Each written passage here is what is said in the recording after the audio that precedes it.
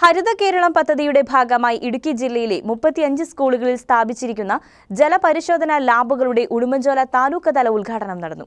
Senapathi Mar Basil vocational higher secondary സ്കൂളിൽ നടന്ന താലൂക്ക് തല ഉദ്ഘാടനം Udumbanchola M L A M M Mani നിർവഹിച്ചു.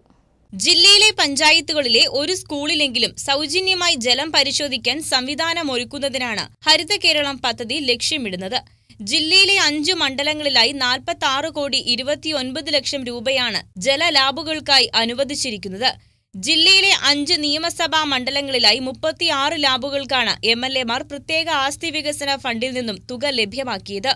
ഓരോ സ്കൂളിനും ഒരു ലക്ഷത്തി ഇരുപത്തി അയ്യായിരം രൂപ വീതമാണ് ലാബുകളുടെ നിർമ്മാണത്തിനായി അനുവദിച്ചത്. കേരള ഇറിഗേഷൻ ഇൻഫ്രാസ്ട്രക്ചർ ഡെവലപ്മെന്റ് കോർപ്പറേഷനാണ് ജലലാബുകൾ നിർമ്മിച്ചത്.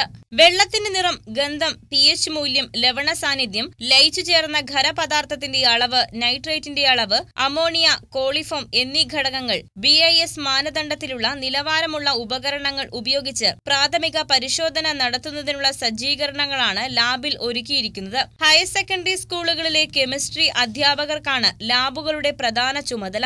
നിർമ്മാണ പ്രവർത്തനങ്ങൾ പൂർത്തീകരിച്ച ലാബിന്റെ താലൂക്ക്തല ഉദ്ഘാടനം Senapathy Mar Basil vocational higher secondary സ്കൂളിൽ നടന്നു. Udumbanchola M L A M M Mani ലാബിന്റെ ഉദ്ഘാടനം നിർവഹിച്ചു.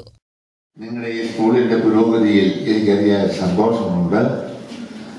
ഈ ലാബിന്റെ ഔപചാരികമായ ഉദ്ഘാടനം ഞാൻ നിറവേറ്റിയതായി പ്രഖ്യാപിക്കുന്നു. ഇനി ഇപ്പം വിളക്ക് ഇവിടെ കൊളുത്തും.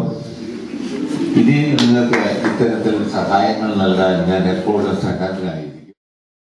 സ്കൂൾ ഓഡിറ്റോറിയത്തിൽ നടന്ന ചടങ്ങിൽ ഗ്രാമപഞ്ചായത്ത് vice president Athira Biju school manager father Sibi Valayil principal father Lindo Lazar മെമ്പർമാരായ P P Eldho Sheena Binu Paul Suja Rachel തുടങ്ങിയവർ പങ്കെടുത്തു.